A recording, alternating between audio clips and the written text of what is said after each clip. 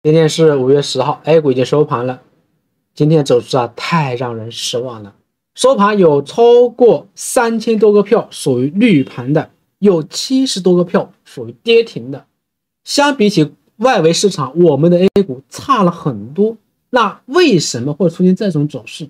盘中的大权重方向，房地产、电力出现异动，是不是预示着指数继续进攻？以后资金开始转到低位的板块了呢？还有接下来我们的重心在哪里？带着这些问题，我们就盘面做一个技术解读。讲之前，评论区一波八八八支持一下。想问一下大家，你今天赚钱了还是亏钱了？如果你是亏钱，是大亏还是小亏？其实说真的，这种环境下想不亏钱是真的太难了。这也透露出中国股市的一个重大的秘密。什么秘密呢？我们现在看一下外围市场，你就明白了。大家看，外围市场，美股全线上涨，欧股全线上涨，我们隔壁也是全线上涨，包括港股是大涨了两个多点，可以说都在涨，尤其是港股的走势更强势。那为什么港股会出现这么好的走势，走出了一个牛市加速的行情，A 股就走不起来呢？这个再不要跟我说什么啊啊经经济不好，再不要跟我说什么其他方面，我告诉你，中国股市这个位置不涨。其实啊，跟我们内在的很多的规则有关系，对吧？港股前段时间下跌，我们也跟着下跌，但是这段时间港股走出了一个什么牛市加速的行情，但我们为什么走的那么差，没有港股那么好？原因在于什么？原因在于我们的做空机制太完美了啊！大家看啊，A 股啊，今天早盘开盘高开直接就被砸了，虽然说啊，今天勉强收住红盘，这个原因是在于房地产。电力大金融护盘的动作下，如果没有这些大权重护盘的话，今天的 A 股又是一个大跌的状态，至少跌三十个点。大家觉得对不对？好，那回到这个盘面，大家看这里的话，早盘这一波跳水后，下午这里再出现拉升，整体来说全天属于一个什么？属于一个震荡的行情，盘中再创了一个反弹来的新高，指数没有问题，可以可以这么说吧。指数明显的属于一个牛市的上升当中，但是很多人说赚了指数亏了钱，原因在于 A 股的持续性不好，大权重方向轮动，另外一个题材容易河岸流，这也透露出了一个信号，什么信号？就是我们的 A 股啊，现在想要持续上涨的话是非常之困难的，总有一些人在上涨的过程中砸盘，那么砸盘是谁？毫无疑问是一些融券资金。那通过转融通，通过融券，通过量化高位砸盘，你要低位再买回来，他们再赚一个差价，做一个 T，可以说他们赚的盆满钵满，他们做的不亦乐乎。但是制约着我们 A 股的上涨，同样的也是吧，使我们的散户非常之难受，赚不到钱。呃，再给大家提醒一下，指数仍然存在着继续进攻的预期，还是属于一个强势的周期。没必要纠结，关键是板块要对。那板块怎么看呢？接下来我们来说重点，就今天的一些热点板块、一些人气板块做一个技术解读。从市场反应来看，今天的 A 股涨得最好的是房地产、人造肉，还有这个电力、大豆等等这些方向。但是我觉得这些方向的话，持续性真的是不好，真的是很难说。当然啊，权重板块的这个大金融、电力。房地产啊，这些今天是主力的一个主战场，那么是不是预示着这个资金开始转向，转到这些大权重低位的呢？银行不用我说啊，银行今天是创造了一个反攻来的新高，这个前面跟大家说过，以牛市的思维去看它就对了，它趋势就是一个牛市，所以我们到强支撑位去做一个低吸，做一个潜伏就好，没必要纠结，关键是低位的证券、房地产。包括电力啊这些方向，它什么出现资金明显的异动了？是不是资金开始进进入这些场啊这些位置？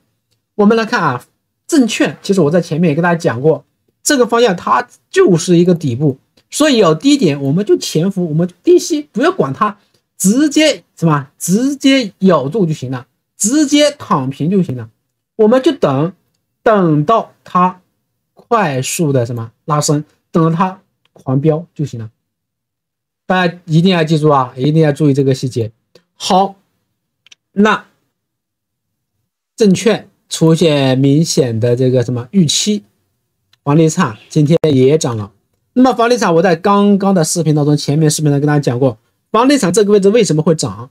这个位置上涨的话，原因在于什么？原因在于它有利好加持下的超跌反弹，全国很多地方都开始什么限这个限制的这个放开了，对不对？所以啊，房地产迎来了一个机会，迎来一个大反抽反弹的机会。我在前面跟大家讲过啊，在操作上面大家抓住重点就行了。比如说啊，前排的这些核心票，你看。这个天地源啊，这个滨江，还有包括这中交地产、招商首口、天宝基建这几个票涨停的，大家记得吧？前前几天房地产板块出现一波异动，表现最强的是谁？我相信大家应该都知道，当时有几个板涨四五个板，对吧？那么这里这几个涨停的板，明显的是吧？可能又会有一次票脱颖而出，成为新龙头。所以在操作上面，大家要记住，要不你就有龙头，要不你就干脆找人气票。前伏后的补涨啊，反抽啊，这大家需要注意的。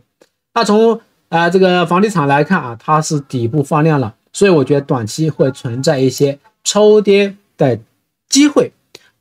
电力今天表现也不错啊，大家看今天电力的话涨了二点七三，明显的属于一个什么？属于一个放量上涨。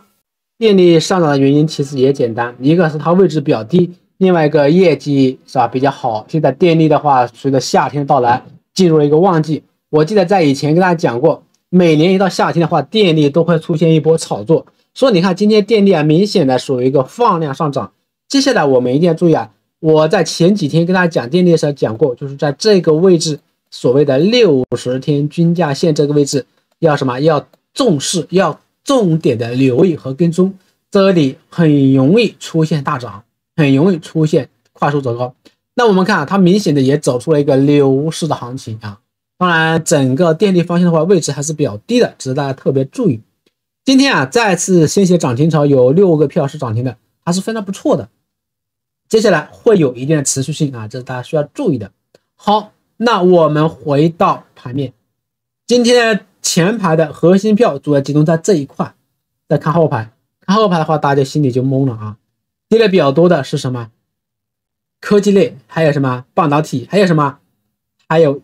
近期这几天强势的医疗化学这一块，所以啊，这些方向你去追高的话，很容易高位站岗，高位接盘。我记得在前期啊，跟大家讲过，讲什么呢？还记得吧？我前期跟大家讲过一个方向，我说这个方向的话，一定要什么？一定要注意，一定要重视。但是你不能再盲目的、轻易的去追的，这个叫什么呢？科技。然后大家看。今天跌的比较多的是什么？是科技方向，它是属于反复炒作，所以啊，在操作上面你一定要注意。你比如说像像半导体啊，像华为啊这些啊，对吧？我告诉大家，这个是主线，有调整有杀跌，那就是机会。但很多人不理解，很多总是这样子的。哎呀，一涨我就追，一跌我就割，他总是反着做啊，这种做法我就真的无语了。所以啊，朋友们，你的节奏。不对，赚钱是非常难的。你比如说啊，今天 A 股是吧，涨停的票非常少。你看涨停比较好的一个方向就是电力了，绿色电力才七八个啊，其他都表现比较差。那你说这种环境下怎么做？说白了就是市场的这个热点呢，这个持续性啊非常之差。那热点持续性非常差的情况下，你去做的话是非常难做的。朋友们啊，一定要注意这个细节。那同样的啊，也给大家提醒一下。这种行情下风险仍然很大。你看今天涨幅居前的或者涨停票只有四十多个票，但是你看一下后排啊，看后面的后排大跌的票一大片，跌了二十个点的有几个，跌了十几个点的一大片，还有跌了八九个点的，跌了五个点的也是一大片。综合来看，今天的这个盘面跌停票有七十多个，可以说非常之的无语，非常的差。在整个走势当中啊，大家要记住啊，近期我特别强调了。一定要避开这个方向 S 七啊，不要再轻易的去接，不要再轻易的去什么去顶啊！只要你避开这个方向，哪怕大盘出现调整了，你也没关系。后面大盘再来一个轮动，你有机会什么？有机会回本。但是你要是进入 ST 呀，这很有可能血本无归啊！这是大家需要注意的。综合来看，市场啊指数没问题，关键是个股表现不好，板块表现不好，所以想要在这种行情下赚到钱的话，最好的策略就是什么呢？就是一个高抛低吸。不管是权重里面的银行、证券啊，包括这个中字头，包括这个房地产，还有今天强势的电力，都以相同的策略来看，因为他们很难出现持续性的上涨，至少目前是这样子的。好，这一期视频我们到这里就结束了。